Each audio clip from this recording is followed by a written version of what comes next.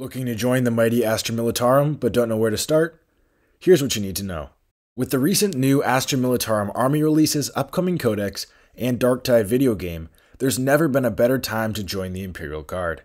The Astra Militarum, also known as the Imperial Guard, is one of the most diverse factions in the Warhammer 40,000 universe, with hundreds of thousands of regiments with unique characteristics from hundreds of thousands of different worlds. There's something special about just being a man with a lasgun facing down cosmic horrors beyond comprehension with nothing but the indomitable human spirit. Although such tremendous diversity exists in lore, most of Games Workshop's introductory packages, such as their Start Collecting and Cadia Stands Army box, are centered around one planet's prolific soldiers, the Cadian Shock Troops. Made famous for their stand against Abaddon's Black Crusades against Cadia, Cadians are the face of the Astra Militarum as a whole. Their distinctive flak armor has become standard for Astra Militarum regiments across the galaxy, meaning that these simple models can represent soldiers from thousands of different worlds. Models for other regiments are offered by Games Workshop, however. The Death Corps of Krieg recently received a brand new kill team with some great plastic sculpts.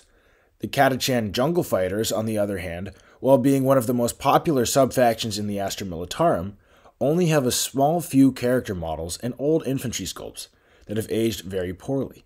Other regiments that were once popular among Imperial Guard players, such as the Armageddon Steel Legion, Vostroyan Firstborn, Valhallan Ice Warriors, and Tallarn Desert Raiders, only had metal miniatures that have been phased out entirely, though these sculpts can sometimes be found on the second-hand market.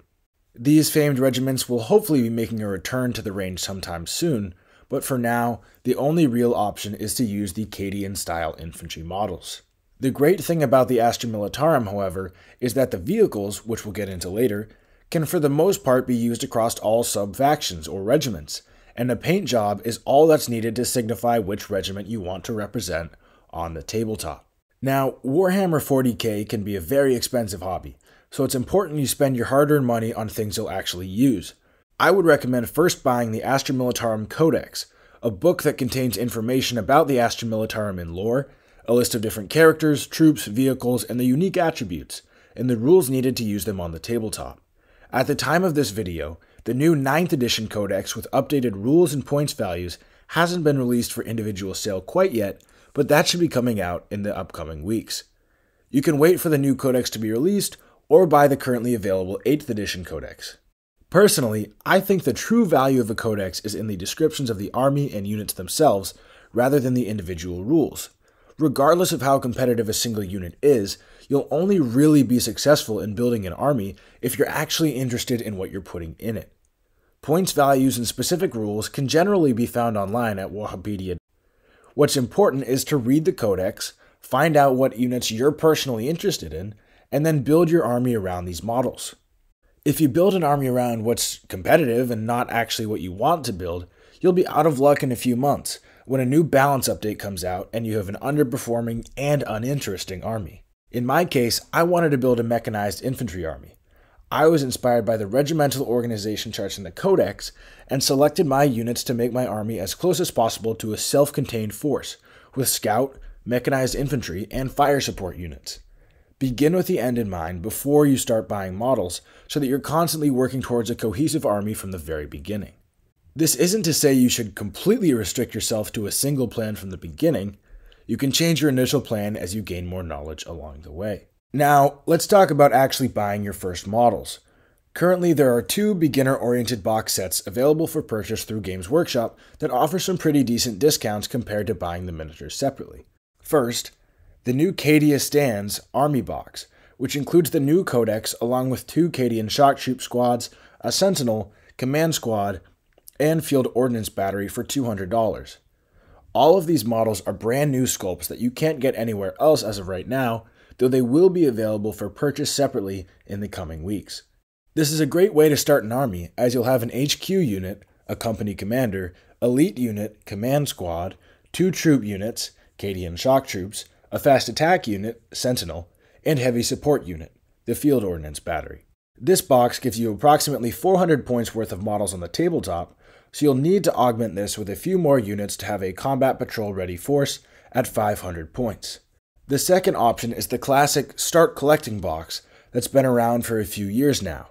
This box, coming in at around $80, was what initially got me interested in the Astra Militarum, containing an HQ unit, Lord Commissar, troop unit, Cadian shock troops, and heavy support unit, a Leman Russ battle tank. This box is being discontinued by Games Workshop as it contains the older Cadian shock troop infantry models, but can often be found at a variety of other online retailers, often for discounted prices. This box will only get you around 300 points, depending on how you run the included Leman Russ, but is a great way to get your feet wet with some useful Astra Militarum units right from the beginning. Regardless of what happens with balance updates, the infantry squad and Leman Russ will almost always be a good inclusion in an Astra Militarum army. Regardless of what you choose, or if you prefer to build your army as a conglomerate of separate kits, you'll first want to focus on some infantry. Because of how the detachment army organization system functions in Warhammer 40k, you'll generally need to include some troop type units in your army. It's worth noting that the new Arks of Omen detachment makes troops slightly less essential, but they still form the backbone of most forces. In an Astra Militarum army, 99% of the time these units will be your standard infantry squads of 10 men. Painting these can be a slog, but there's a great amount of tutorials online that can make doing so much easier. I personally use Sonic Sledgehammer Studios' excellent painting tutorial, for my four squads of infantry and command squad that saves a lot of time by priming the models using Zandri Dust, the same color as their fatigues. In the Astra Militarum, firepower is king. With the exception of Bullgryn and Ogryn, tanky giants that fill an elite's detachment slot that can be brutally effective in melee, Astra Militarum armies win by destroying the enemy at range with overwhelming firepower. This can come in many forms. The most popular way to get firepower on the table while minimizing points cost is through Leman Russ battle tanks, which have many variants designed for different battlefield roles, whether that's providing anti tank fire, shredding hordes of enemy infantry, or destroying hostiles in cover. The Leman Russ Tank Commander is an especially important Leman Russ variant, as it is capable of issuing orders to friendly units, or to itself, that can maximize movement, firepower, and other critical battlefield activities tank commanders also fill an HQ detachment slot. The Baneblade and its numerous variants Baneblade, Banehammer, Stormsword, Shadow Sword, Banesword, Doomhammer, Stormlord, and Hellhammer are larger, tougher tanks with more firepower, though they don't see as much use as they aren't usually as economically viable, costing as much as multiple Leman Russes. The Rogal Dorn battle tank hasn't been released yet, but essentially will provide a middle ground between the Leman Russ and the Baneblade in terms of armor and firepower. The second way to add firepower to an Astra Militarum army is through indirect fire support, generally through either the Basilisk artillery tank, Manticore rocket launcher, or Wyvern suppression tank. When used in conjunction with support tank ace traits, which can buff a unit's damage or accuracy, these vehicles can be deadly, taking out your enemy's strongest units from a safe position. The Basilisk is the main artillery vehicle of the Imperial Guard. Basilisks can provide indirect fire support for frontline troops from miles behind the front line, but can also level their gun barrels and shoot directly at enemy troop formations, vehicles, or fortifications. I personally included two of them in my 1000 point Astra Militarum army because of their extreme firepower. Also, they just look cool. Manticore self propelled rocket launchers pose a unique threat among the vehicles of the Imperial Guard, foregoing thick armor or overwhelming firepower for pinpoint accuracy and lethality, capable of crippling the enemy's most important units before they have time to impact the battlefield situation. For most of 9th edition, they've been the favored fire support choice for Astra Militarum players, but they've been hit with some recent points cost increases to bring them in line with other options. Wyvern suppression tanks are capable of eliminating huge hordes of enemy infantry, but their low armor penetration makes them more of a niche unit, typically only included in specialized armies or larger forces. For more information about any of these vehicles, make sure to check out my In Lore and on the Tabletop series, where I break down the battlefield role, strengths, weaknesses, and playstyle of almost every vehicle in the Astra Militarum arsenal. Now, this covers the core of most armies guardsmen and tanks. If you've been around my channel long enough, however, you'll know that I take a slightly different approach.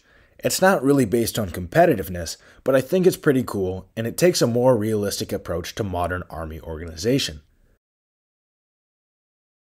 There are three main dedicated transport options for the Astra Militarum the Chimera Armored Personal Carrier, the Taurox Troop Transport, and the Valkyrie Aerial Transport.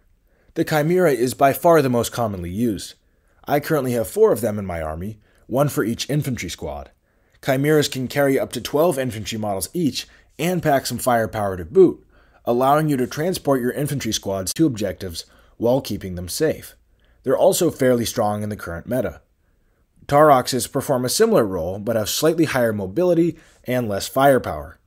Valkyries are a completely different animal, providing extremely rapid aerial transport and some heavy firepower at a steep cost premium. Again, I have videos on every single one of these vehicles, so be sure to check them out.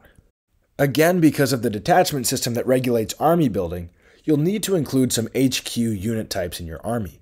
Unlike some armies, where commanders tend to be tough, brutal melee units, Astra Militarum HQ units are typically fairly fragile and excel in issuing orders to make their troops more effective in battle. The most popular HQ units are company commanders, a single fragile human character whose only real impact is issuing orders to infantry and tank commanders, which are Leman Russes with similar leadership characteristics with regard to other tank units. These orders, as mentioned before with regard to tank commanders, can buff a certain unit's ability to wage war, being firepower upgrade or movement upgrade or similar. That concludes the real essential elements of an Astra Militarum army, but there are some other interesting units that can aid your forces in different ways.